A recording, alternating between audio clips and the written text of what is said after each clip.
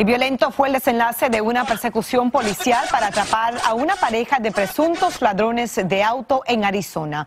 La mujer abrió fuego contra los oficiales y uno de los agentes le disparó y la hirió, mientras el hombre recibió una descarga eléctrica cuando intentó echar abajo la puerta de una casa. Lo insólito es que en medio de la persecución se detuvieron para recoger al hijo de la mujer.